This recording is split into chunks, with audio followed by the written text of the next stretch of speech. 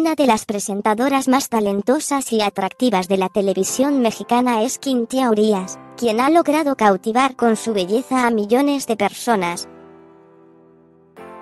la fama y popularidad de Quintia Urias van más allá de la pantalla chica. Prueba de esto es su perfil de Instagram, red social donde tiene más de 2 millones de seguidores, quienes no se pierden una sola de las publicaciones que realiza.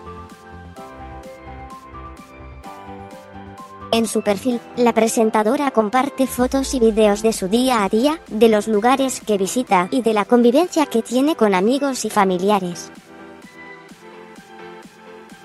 Sin embargo, a pesar del cariño que los televidentes sienten por ella, Quintia Urias estaría pasando por uno de los peores momentos de su carrera.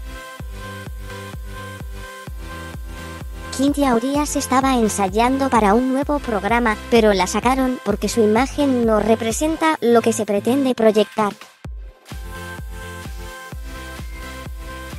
Asimismo, se dijo que los ejecutivos de Televisa argumentaron que el rostro de la presentadora ya luce maduro, por lo que es necesario tener una cara juvenil en un programa de concursos.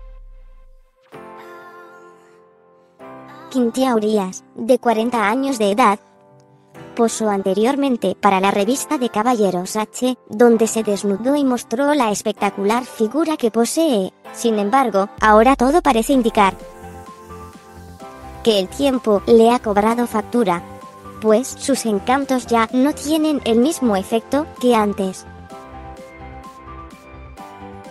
La producción de Magda Rodríguez no tuvo problemas para encontrar el reemplazo de Quintia Urias y, a pesar de que le salió cara, finalmente convencieron a Tania Rincón para ser la titular del show.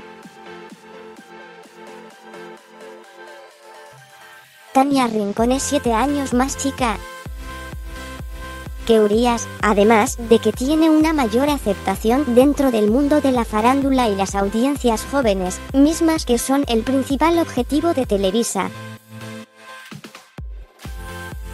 Se dice que a Quintia Urias le hace falta mucha cultura, pues se nota que le cuesta mucho expresarse en el programa Cuéntamelo ya, Guerreros 2020 será el nombre del programa que conducirá Tania Rincón, pero hasta ahora se desconoce cuándo saldrá al aire. ¿Qué opinas de lo que le pasó a Quintia Urias?